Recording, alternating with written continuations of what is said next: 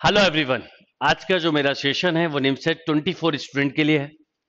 जो लोग निमसेट 24 को क्रैक करना चाहते हैं ऑनेस्टली करना चाहते हैं, कई सारे मैसेज फोन्स और जो बच्चों ने इस बार एडमिशन लिया अभी पर कई बच्चों को कॉलेज पसंद नहीं आया लीव कर दिया।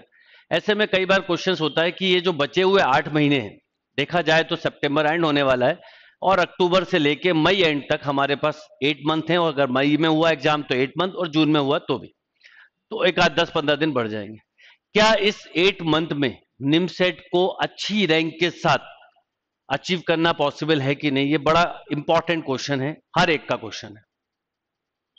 वो बच्चे जो ड्रॉप ले रहे हैं, उनके लिए भी और जो नए बच्चे हैं, जिनको बाई चांस लेट पता चला, उनके लिए भी। मैं सबसे पहले एक बात क्लियर कर दूँ कि एट मंथ है, ये इंपॉर्टेंट नहीं है। इस एट मंथ को कैसे यूटिलाइज करते हैं इज़ मोर इंपॉर्टेंट यानी जो बचा हुआ टाइम है, इसको कैसे यूटिलाइज करते हैं? क्योंकि कई बच्चे वन ईयर से प्रिपरेशन कर रहे हैं, कुछ ऐसे भी टू ईयर से।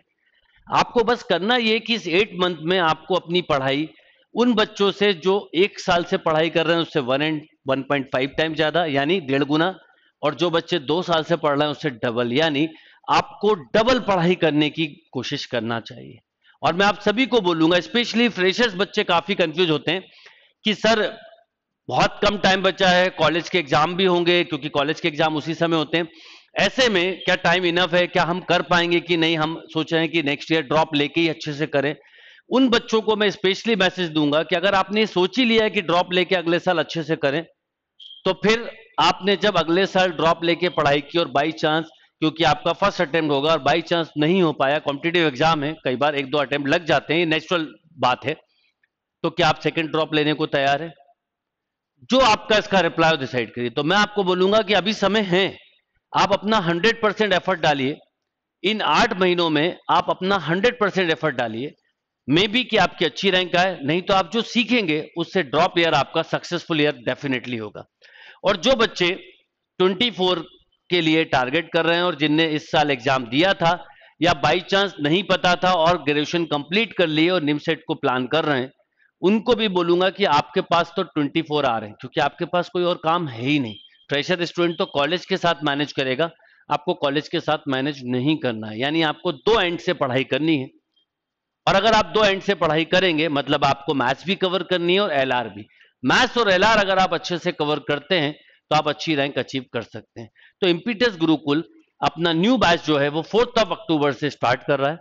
और इस फोर्थ ऑफ़ अक्टूबर से जो बैच होगा, ये न्यू बैच होगा और इसमें भी चीज़ें पूरी बेसिक से ही करवाई जाएँगी, पर डबल एंड पे पढ़ाई करोगे आप, यानी आपको मॉर्निंग और इवनिंग दो क्लासेज अटेंड करनी होंगी। और मॉर्निंग क्लास जैसे ही कंप्लीट हो मॉर्निंग की प्रैक्टिस करिए उसी समय, और इवनिंग क्लास खत्म हो तो इवनिंग में प्रैक्टिस करिए। और इस तरह से आप इस सिलेबस को टाइमली कवर कर पाएँगे।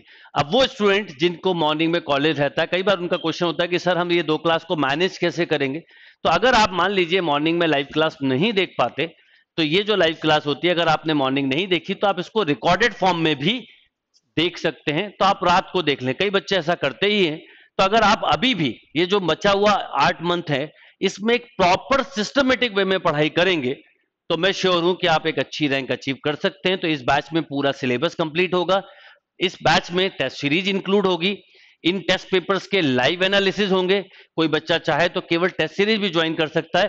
पर मैं एक सजेशन दूँगा कि टेस्ट सीरीज़ उन बच्चों के लिए बहुत यूजफुल होती है जो सेल्फ स्टडी डिसिप्लिन के साथ पढ़ रहे हैं, कर रहे हैं।